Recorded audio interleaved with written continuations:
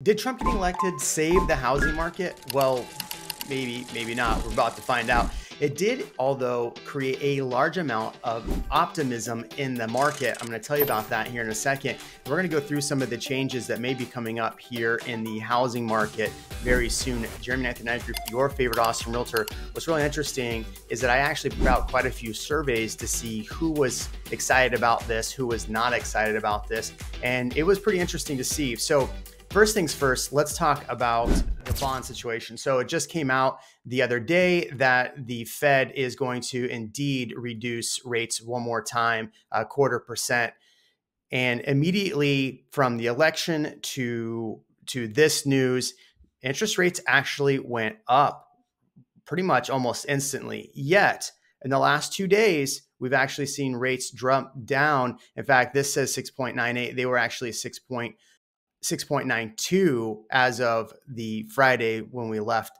So immediately we see the bond market react and go up and now it's coming back down. What's interesting about rates is rates usually follow the 10-year treasury yield and not what happens with the Fed funds rate. Now I know a lot of people want to say okay the Fed's dropping rates that means that this is going to drop.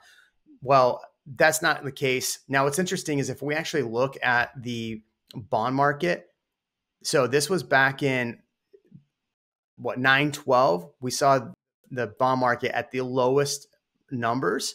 If we look at the interest rates where interest rates were around 912 917 they were at their lowest. So usually once you see the bonds drop a little bit then you start to see some movement in the interest rates. So that's what we're seeing here. So immediately we saw rates down back down to 6.92 so are they going to continue to do that? Well, the 10 year treasury as of today looks like it is down slightly. So we may continue to see a trend downward in interest rates. Now, this might drive more buyers into the market. Now, what's interesting is I, our good friend Reventure just put a video out legitimately i think i saw it today and one couple of things that he was talking about was talking about that we're going to see a huge increase in foreclosures that trump's going to get rid of some of the protections for foreclosures. I don't know that that's really going to happen. He also was really still pushing the crash narrative while at the same time realizing that there's a lot of pent up buyer demand.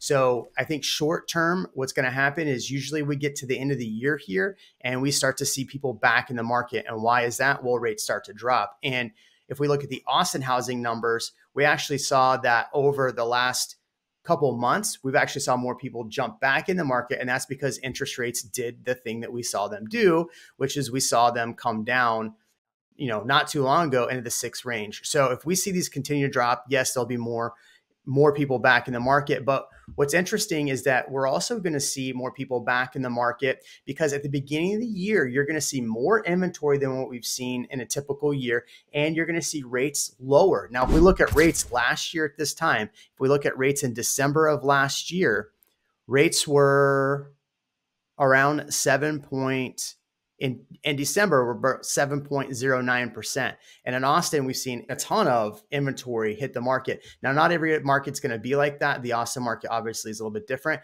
So if we see rates drop even further over the next few days, imagine that more people will get in there. But let's talk about consumer confidence because this is really, really important. Now, consumer confidence in the housing market is on the rise, hitting the highest point since nearly 2022, since early 2022, according to Fannie Mae's latest home purchase index. In October, 20% of consumers felt it was a good time to buy a home, making it slight increase. However, 64% still believe it's a good time to sell. And this is one of the things that I think why we're going to see more buyers in the market and maybe not short-term increases in home prices, but we're going to see more home sellers hit the market over the next couple of months. I know I personally have had more home sellers reach out, but there's more confidence for consumers and I'm going to show you what people are saying. There's more confidence for buying consumers and selling consumers which means that that whole thing where we had people were locked up to their to their mortgage rates are probably going to be putting their homes on the market. However 64% believe it is a good time to sell. Expectations about home prices remain steady with 39% predicting they'll go up in the next year while 23 expect them to drop 23% increasingly fewer consumers now believe mortgage rates will decline over the next 12 months, dropping from 42 to 39%. While those expectation rates rise, also fell to a new survey low of 22%. So Mark Palim with Fannie Mae, which is pretty interesting, is Fannie Mae actually saw an increase in its stock price because people are assuming that Trump is going to actually privatize Fannie Mae and Freddie Mac, which is what he said he wanted to do previously. And if they do that, it's going to actually have investors buying up Fannie Mae, which means that they're making it more private. So there's a lot of people buying up the Fannie Mae stock. In fact, we can actually look at that. Yeah, up today 2.29, up uh, what 6% just today alone. So yeah, the Fannie Mae is definitely jumping up. People are buying Fannie Mae stock as of right now. Now, back to this. So, Mark Phelan with Fannie Mae chief economist explains that while confidence is improving, high home prices continue to make many consumers hesitant about buying. Meanwhile, the prolonged period of elevated prices is slowly nudging more people towards renting, especially with rent growth expected to stay modest. Consumers also feel secure about their jobs, with 79% of employed respondents confident in their job stability over the next year, up from 77%. As consumer sentiment shifts, we could see more people turning to rentals while they save for future home purchases. So, when I put this survey out, basically I said, poll question Are you now more or less optimistic about the housing market after the election results? One person was not happy, obviously. That's fine but almost everybody unanimously said yes, more, more, more, no doubt more. Now, again, a lot of these are real estate agents. Brad had a really good point here. He said level optimism overall, unaffected. Getting past the election was going to help short term, no matter what. In my opinion, I believe the Fed will act independently unless a new administration takes extreme actions to change that. Can't see a legal option for that. Now, keep in mind, I just said that that the bond market is what is affecting mortgage rates. Now, cutting the, the, the Fed fund rate will help banking with lending, but not necessarily mortgage rates, as we've seen. I don't think the Harris 25K for first time home buyers would have done anything based on on that. Um, anyway, so he went say that you know people are probably going to assume that Trump's going to have a stronger economy. Really good points there as well. But a lot of people seem a little more optimistic than not. And then I also did this poll on my YouTube channel here, and I basically said, you know, are people feel more? And it's about 48% said yes. Many said that it is still too early. So obviously that there's a hesitation out there and 15% said no. Curious your thoughts. Do you think that the housing market is going to get better because of these election results? So Let's talk about mortgages here for a second because mortgages are really important. The bond market plays a big role in setting interest rates, including a mortgage rate.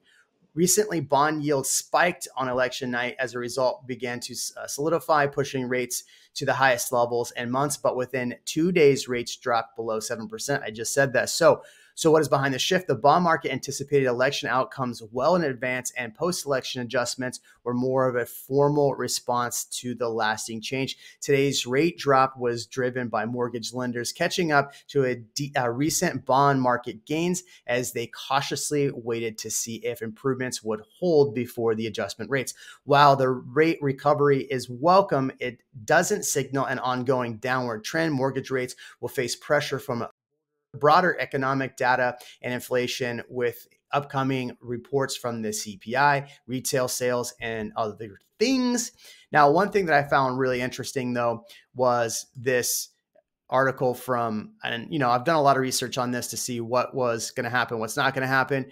Mortgage rates surge higher, but they've obviously come down. I anticipate they're going to trickle down back into the six and a half percent range over the before the end of the year. You tell me but the National Association of Home Builders congratulated the president elect with a statement from its chairman, Carl Harris, saying that NAB, NAHB looks forward to working with the incoming Trump administration and leaders in Congress from both parties to enact a pro housing legislative and regulatory agenda that increases the nation's housing supply and ease the nation's affordability woes.